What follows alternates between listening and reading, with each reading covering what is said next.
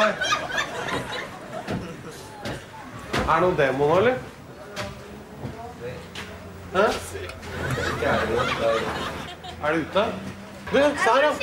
Det ble sluppet inn to sivilsnutt på Blitz her om dagen. Følg personene. Personene skrives ikke med J, da. Jeg hadde jo ikke noe mot blitzere.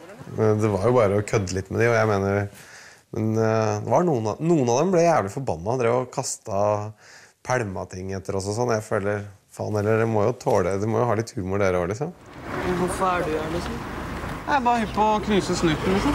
Men hvorfor går du den jævla teite kostymen, liksom? Det går jo aldri sånn til vanlig. Det er jo helt, Ja vel. Jeg går alltid med der, jeg. det er jo helt dust å si, da. Du gjør jo ikke det. Du pleier å gå i dress og Ja, det er på TV, ikke sant? Det er ikke meg, egentlig. skjønner du? Jeg var med å okkupere Skippergata. jeg. Ja, jøss, faren min var med å okkupere Skippergata. Ja, og jeg. Jeg hater snuten. Én. TV 2. To.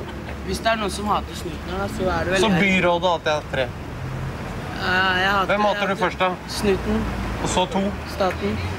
Ok, jeg hater, jeg hater eh, staten, glemte jeg. For at sjåføren skal sitte inne og inhalere frisk luft mens du spyr ut dritt på oss.